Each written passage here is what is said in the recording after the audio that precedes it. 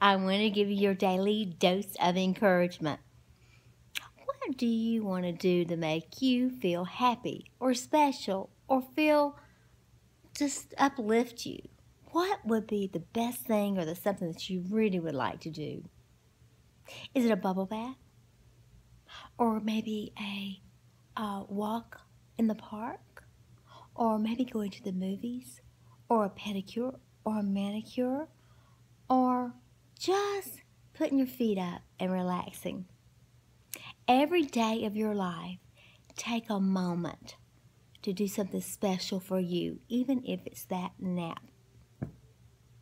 When my grandmother retired from Hanes Knitting, and we all know about Hanes,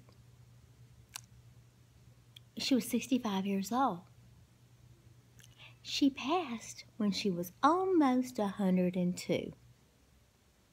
She took a nap every day of her life every single day. And it might be a 10 minute, 15 minute, or a 30 minute nap. After she retired, she made that promise to herself.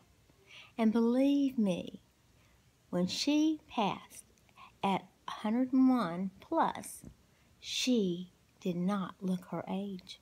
Nobody could believe it. So, do something special for you whatever that might be. Plan it, start it, make that a new New Year's resolution. Do it. I love you guys. I hope you have a great day, happy day. Hope it's full of sunshine and beautiful memories. Remember, don't forget to give a smile. If you do, you might get one back. Remember, you're loved. I'm sending you a hug. And thank you so much for subscribing.